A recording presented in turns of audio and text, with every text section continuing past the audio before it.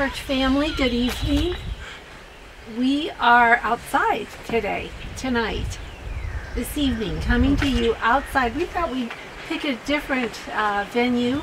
We're on the Love Seat. And we're going to do another small group lesson with you. First, we want to thank our proud sponsor, Dr. Pepper.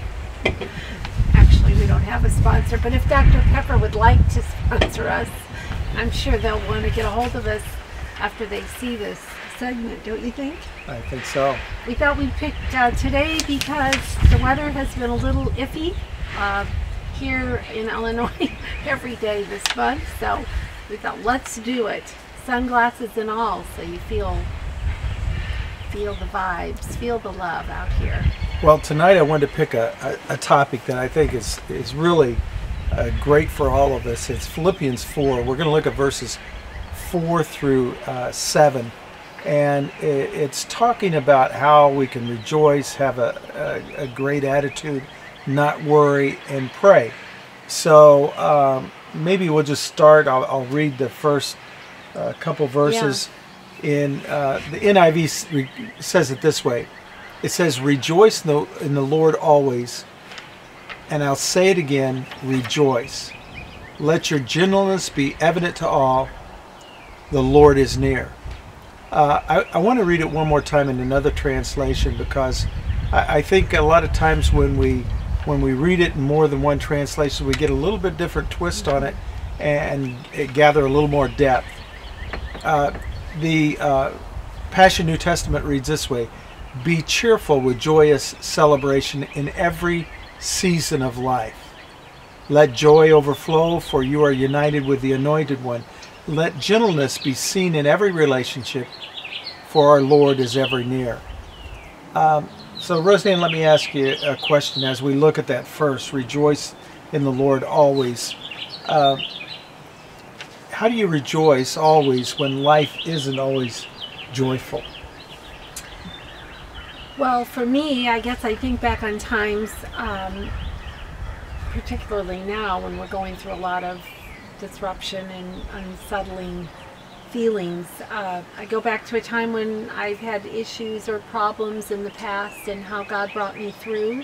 Um, and that my worrying didn't add one, as the Bible says, one day, one hour, one anything to my life. So why worry? Why get upset? Why not rejoice?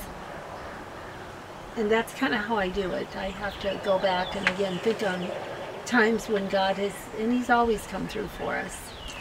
I, I agree with you, but I think there's a secret in here. Uh, the secret's hidden in that first part of uh, that fourth verse. I, I think we can read right over it without really grabbing a hold of what Paul's really trying to tell us. He says, Rejoice in the Lord always. And, and when we're able to rejoice in the Lord, even if life isn't going perfect, Right. uh, we have that stabilizing force of our faith with God, and and He's telling us, uh, bring it back to center by bringing God in the middle of this, and knowing that even though the situation might not be ideal right now, uh, you have that confidence of, of walking with God, of of knowing He's there, that makes all the difference in the world. But you have to settle your mind down as well to get to that point. You know what I mean? I'm just, people have to. I, I wonder if that's why Paul said, he says, rejoice in the Lord always. And then he repeats himself. probably for me. I, I think he repeats himself because all of us need to hear it again. And, and he said, I'll say it again. Rejoice. It, it seems like it's, it's almost redundant Right. for our benefit. Yeah, Uh, rejoice. That means have joy again. right. Um, so, how do you have joy again? Feeling the Lord's presence, I think so. Just, Just doing trying kind of like what you were saying. you- pray and uh, uh, you know- meditate on the Word and, and getting close to God. I mean, in times that are stressful for me, I have to go to the Lord right away. I have to get that, you know, the Lord is near. I have to grab a hold of that. Um, I, I think Otherwise, you spiral out of control, and then you're so far. You know, I think you're just so I think far. I think all of us have had had times in our life when we we haven't went to the Lord right away. We've Mm-hmm. we've went to our emotions. We've looked at the situation. Uh, Yeah. we, we've seen our circumstances uh, being uh, bigger than life. This huge mountain that uh, that we can't overcome, and it was only afterwards that we maybe settled our thoughts and and and realized that yeah, we still have God. I'm we still have something that we can hang on to. I think I might have said this the very first week on our Q and A. I just kind of made a mental uh, statement to myself that when this is all over, this stay-at-home lockdown, whatever we're calling it, is over, I want to end. At least I want. I hope my family. You don't have to make any faces, but uh, sees that I was more positive than negative throughout this whole process. That when it's over, I want to say I did some good. I helped people. I loved my family. I tried to protect those around me and our church family and do the best I could do. And and that's that's kind of what I'm, you know, my goal for this I think it's a great goal.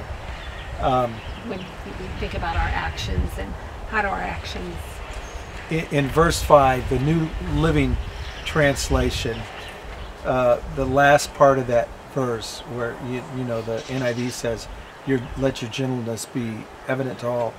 I, I really like the way the New Living reads. It says, "Let everyone see that you're considerate in all you do." Um, how do our actions testify of our faith?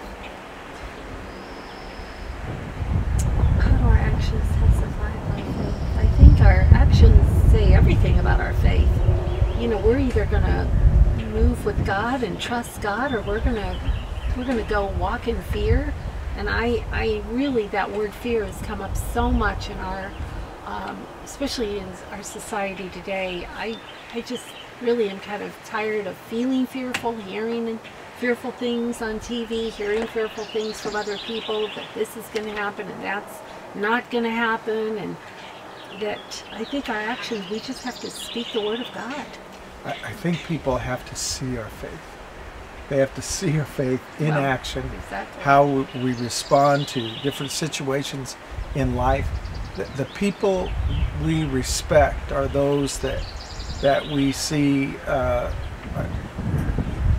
trust God time, under yeah. pressure. Right. Oh yeah. you know, pressure perfects always, us, always. and it also brings out the greatest flaws that we have. Right. So, uh, people that we respect, people that have a deep faith, have the ability, I think, uh, to just let the thoughts center on God for a moment without speaking what they're feeling right out of their mouth. Exactly. You have a good friend that just went through some a very serious accident. You were going to share. Yeah, about I, that. I, that's one of the reasons I picked this. Uh, you know, the last part of that, uh, that that fifth verse says, "The Lord is near," and I, I have a good friend. He he lives in Quincy. Uh, him, you maybe heard me talk about him and his wife. I, I married in uh, Israel with another pastor. Uh, a great guy, and uh, just last week he had a very serious accident where uh, he was moving some trees and different things, and and the vehicle that he was in, there was a, a tree that was two feet in diameter uh, that was pinned against his leg, and uh, it pinned against his leg in this cab. And he, he, since then, he's had surgery. He had to have a plate put in, different thing else. But when uh, when he called me back after he'd gotten over the, the initial shock of everything, he, he said, Stan, I, I know this sounds odd, and I, I, I've never considered myself a Bible scholar, but when I was in, in that cab of that, that vehicle and, and that tree was pressed up against my leg, I felt the Lord's presence. I, I, I felt peace. It didn't Wow. it didn't make sense. Right. You would normally feel panic, uh, but but I felt Yeah. peace, Yeah. and I was able to get the bucket moved around to to to get the the tree off of my leg. And um, he said my wife gave me a hard time because I didn't call 911 right away. So I, I, I called a buddy of mine and I, I was telling him about the situation. and he said, "I need you to call 911." And he and he said, "Yeah, but why, why'd you call me first? Because they're not going to know how to find me." Oh, And, and he yeah, said, "I need you to call right away because I'm about ready to pass out." Smart. and uh, his friend got the, the emergency crew there and they were able to uh, get him out of the vehicle but So that was also, uh, yeah, that was tremendous strength, and obviously God's presence was with him. It kind of leads into the next uh, part of Philippians. I told dave too i, I said uh, you're going to use that testimony to encourage somebody else and i'll have to call him tomorrow and let him know i used his testimony to encourage somebody else because he said you know i wasn't fearful at the time i, I was calmer than i should have been i was able to maneuver the, the bucket around and get that huge tree off and, and make the phone calls and um, it's going to be okay awesome. Kind of leads into the next part of Philippians 4 6, verses 6 through 7. Do not be anxious about anything, but in everything by prayer and petition with thanksgiving, present your request to God. And the peace of God, which transcends all understanding, will guard your hearts and your minds in Christ Jesus. So, Stan, Uh, don't be anxious about anything.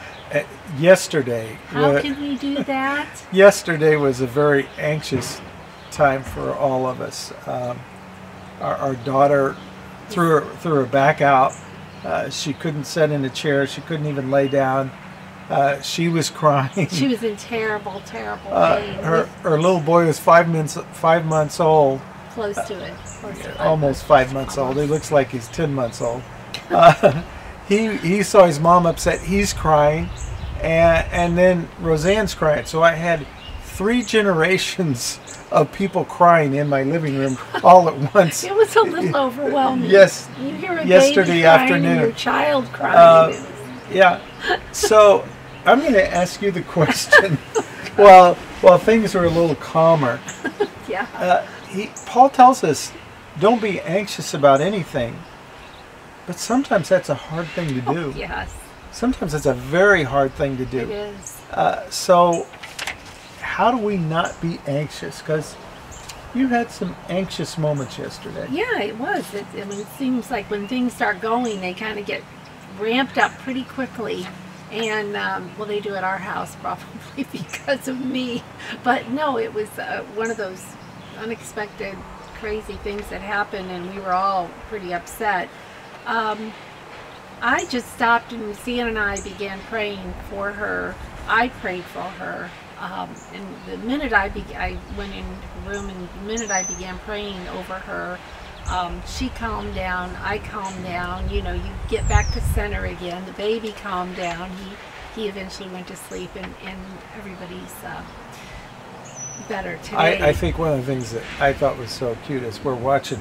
Here's mom on the floor Crying. trying to get comfortable, Yeah. crying. Once she calmed down, uh, the, it, we put the little guy, uh, Louis, by her, and and he saw his mom was okay. He started laughing. yeah, he was great. calm too. Yeah, yeah, yeah. It was great. So, if you can learn how to hang, handle life without being anxious, I, you can see how that that peace and that calm spreads to everyone it, around it, you. it did work, and we've had several of those instances, as you all have. That's why when we do these from our home, it seems more natural to begin sharing with you because we'll have problems and issues, not problems, but issues sometimes daily.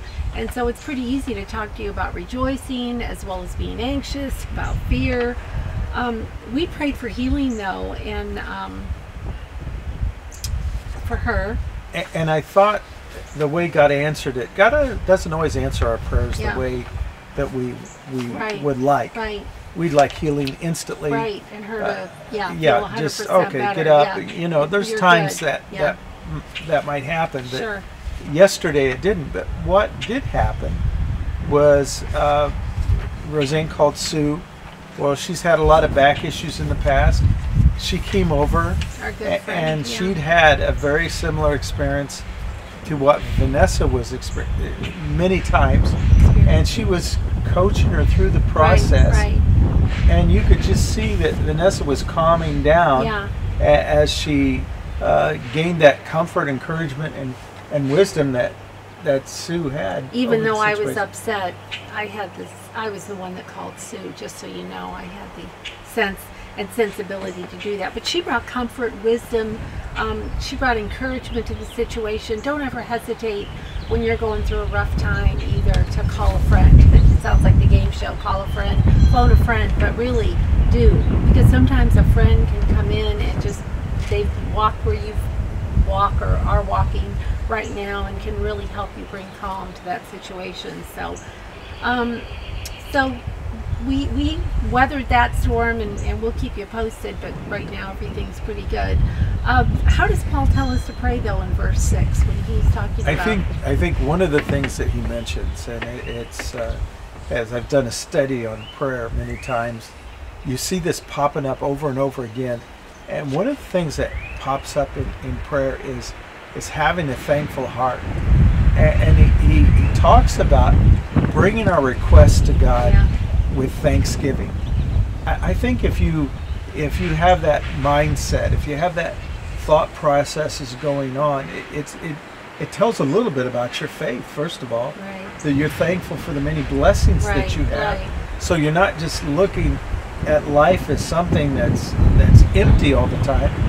You're you're seeing some real possibilities in life, and you're thankful for what you have, even if the, maybe the situation you're in is is a negative We one. talked about that last night as a family. That we are thankful we were all together. They weren't alone when this happened. So, yeah, we had a lot of great things to be thankful for. How does God's peace diff- is different from the peace we feel when nothing's wrong? That's God's peace. that's the peace that uh, is supernatural. That that's the peace that Dave was talking about in his accident. Can we have that all the time, There's- every day? You know, there's times when God just pours out His grace, and, and He gives us He gives us peace when we need peace. And we should pray for that peace every day, though, just to cover us. And well, I think part of that peace comes as we trust God. Yeah. And uh, it, it's a byproduct of our faith. As Yeah. we as we trust God, that, that peace settles in on us. That Right. comfort settles in on us. That that Romans eight twenty eight, all things work together for the good. Yeah. uh, those who God, love God, gives us that that hope that the situation is just going to be a temporary one, and, and God is going to bring us through again. But but I love the way that Paul says this in verse seven. There's so much more in these verses. I was going to read many more, but uh, we we thought we'd just do four through seven because there's so much there. He said, "The peace of God, which is beyond our understanding. It's not a natural peace. No. It, it, it's a, it's a time when when panic should be the the mode of the natural. Uh, it, it, it says it'll guard your hearts. Uh, when the Bible talks about the, the heart, it, it's also talking about our our emotions and, and, and our minds. Our minds are the things that go go wild when we find ourselves in that, that panic mode. like last night. Yeah, it was temporary. It was Temporary. temporary. Yeah. So God gives us that peace that that transcends understanding and it guards our hearts and, and guards our mind in Christ Jesus. Mm-hmm. Re- remember at the very beginning, I'm going to go back to the very beginning before we close. It says, Rejoice in the Lord. See, it's in the Lord that we have these benefits Yep. In the Lord that we experience His peace. Yes. In, in the Lord that we can we can have that thankful heart. In, in the Lord that we can pray. In the Lord that we can uh, trust God when it seems uh, like a dark place. We can have that glimmer of hope because that we have that eternal hope inside of our heart. Yeah. It's good. So, as we wind down this uh, short study tonight, why, why don't we pray for uh, the people that are watching this video? Yeah. Like we would consider that an honor. You. Uh, Father God, we come before you tonight and, and we thank you so much for our church family, Lord. We're, we're so thankful for the way they've supported us, the, not only the cards, the letters, the notes, but the, uh, the giving that still keeps the church going. It still helps us, Lord, to be able to support our missionaries and staff and, and, and reach out and, and touch charities. And we thank you for that. We thank you for the people that call Mill Christian Church their home. And we ask you, Lord, to bless them. uh, not in a small measure, Lord God. We ask you to, to bless them richly. Uh, we, we pray that any anxiousness that they might have might be turned into your peace and that you would guide and guard their hearts and minds in Christ Jesus. Thank you for blessing them now, Lord, and blessing their families. And we pray this in Jesus' name. Amen. Thank you so much for being with us this evening. Have a great week. Love you all. Bye-bye. Bye.